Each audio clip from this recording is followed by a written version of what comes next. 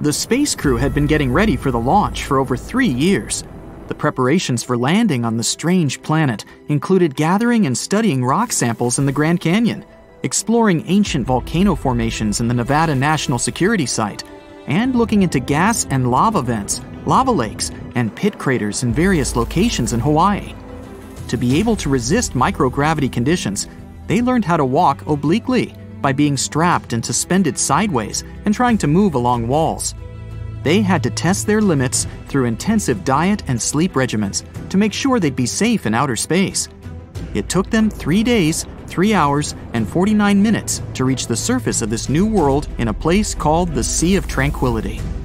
They could have gone for the Ocean of Storms or the Central Bay, but they chose this place to land because it had good visibility and it was relatively smooth and easily reachable with as little propellant as possible.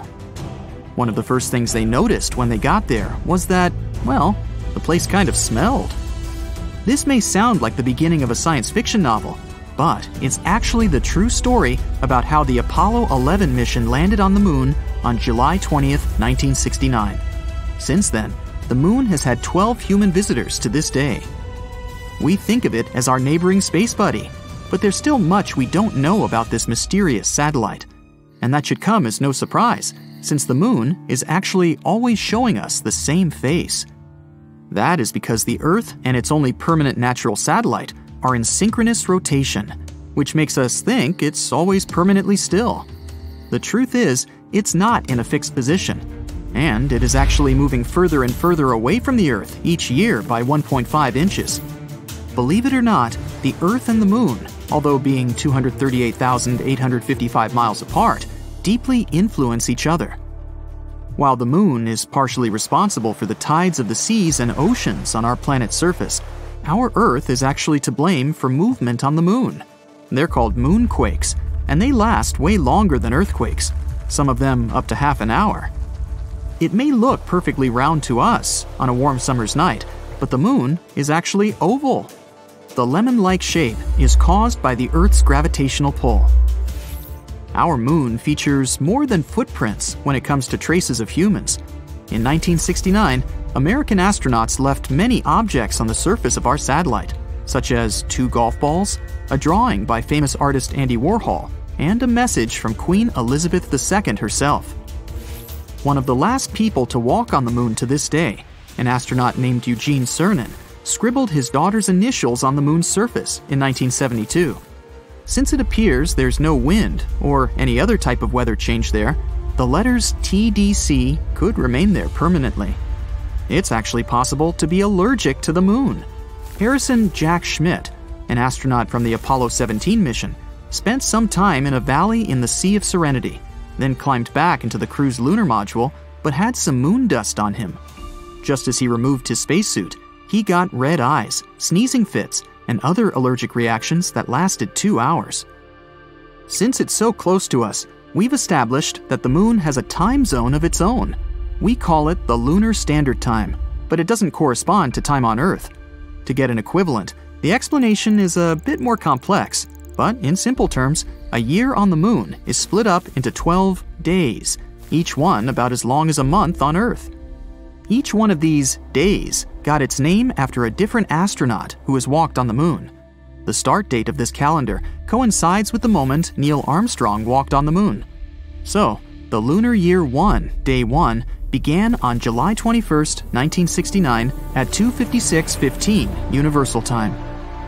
Since the moon has a very thin atmosphere, it has some pretty crazy temperatures, both hot and cold. They can go up to 200 degrees Fahrenheit. Over by the moon's poles, however, the temperature is always at around minus 400 degrees Fahrenheit.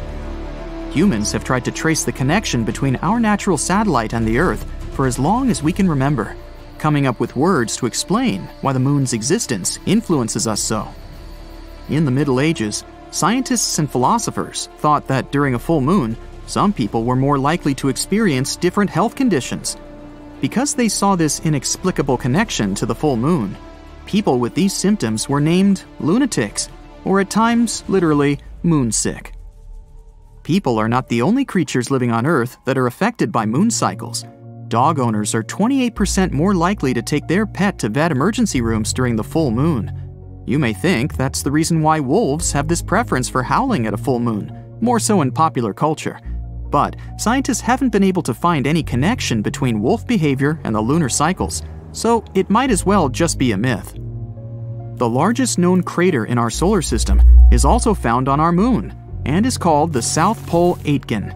This giant formation is located on the far side of the moon and measures 1,550 miles in diameter.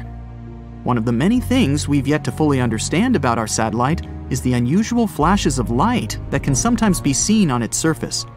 Scientists have named these outbursts transient lunar phenomena, or TLP in short, and they have been seen all over the world for centuries.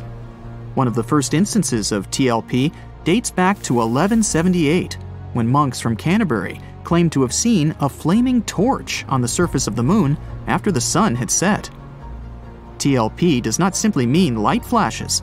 Reports also have detailed other unusual events, such as gas like mists, reddish, green, blue, or violet colorations, or even the darkening of certain locations on the moon.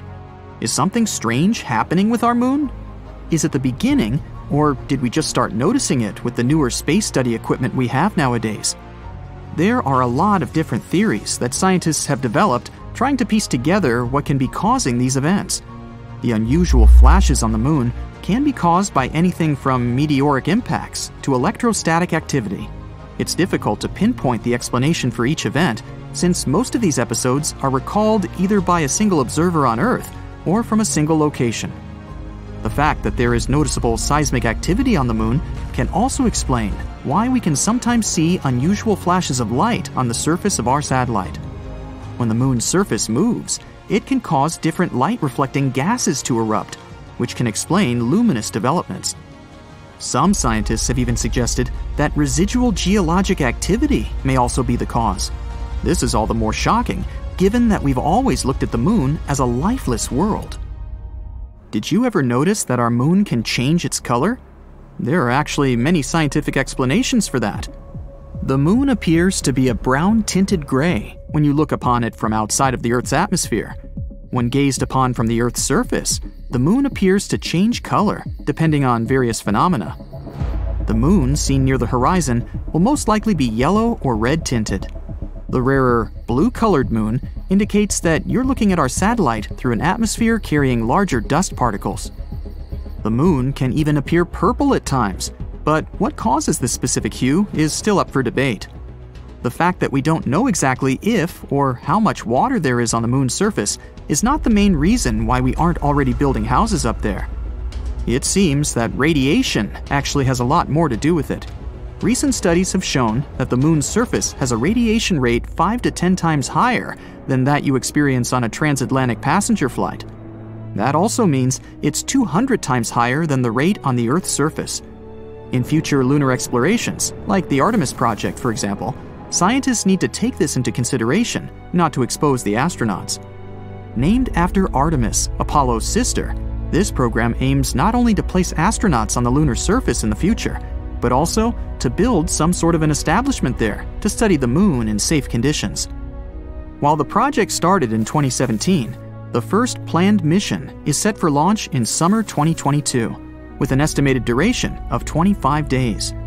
The space object, with no crew on board, is planned to reach lunar orbit and safely return with sufficient data for the next four person mission scheduled for May 2024. Artemis 3, 4, and 5 are expected to be launched in 2025, 2026, and 2027, respectively, each with a planned duration of approximately 30 days.